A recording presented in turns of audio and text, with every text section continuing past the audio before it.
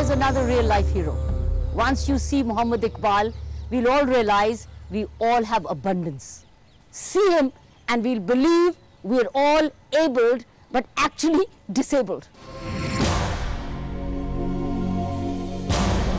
When you first see Muhammad Iqbal, you think you see a man disabled and dependent. And you couldn't be more wrong. Muhammad Iqbal sees creativity and opportunity in any disability, and wealth in what we call waste. This charismatic man changed the way the world looks at the disabled. हमने ये सोचा कि disable लोग कुछ नहीं कर सकता है एक तो ये दिखाना है कि हम डिसेबल को बहुत कुछ कर सकता है For the last eight years, this man has been working to create an inclusive and disabled friendly society in Ladakh.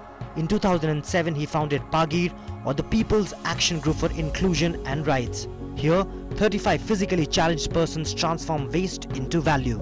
Iqbal and his team pick up cloth scraps from tailors, they stop Ladakhis from burning waste paper and then recycle the cloth and paper to create products that are sold in the markets of Leh. And in doing this, Iqbal is not just making Ladakh eco-friendly, he is changing lives. Polio-afflicted Eskarma Shidub can conjure up prayer cushions and more from this swing machine. He now earns over 4,000 rupees a month. यहाँ जो handicap लोग को थोड़ा सा कट्टा होकर के कम करके थोड़ा बहुत पैसा भी यहाँ मिल जाता है एक बार साहब भी हमारे प्रेसिडेंट है इनने थोड़ा मेरे को गाइड किया Iqbal was born in a small Ladakh village.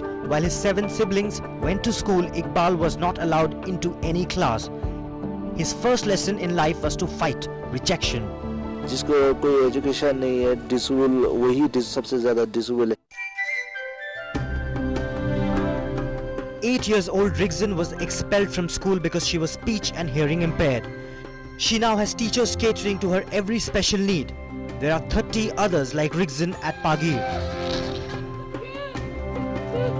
One two ten fifteen तक पढ़ता है मेरा जी ए भी लिखता है पूरा Economic empowerment was his first step towards social empowerment. His next move was accessibility. He had this ramp built so that the Lake Council building is accessible to the wheelchair bound. हम आज ज़्यादा नहीं माँगता है कि हम big जैसा या डिसेबल को एक्स्ट्रा नहीं माँगता है जो हमारा हक है इंसानियत का हक है वो बराबर मिल जाए This Ladakhi song sums it up. Respect the disabled, it says, for they have the power to fight their disadvantage.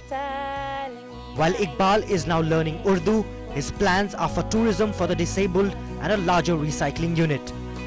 At Pagir, the wheelchair is always in the fast lane.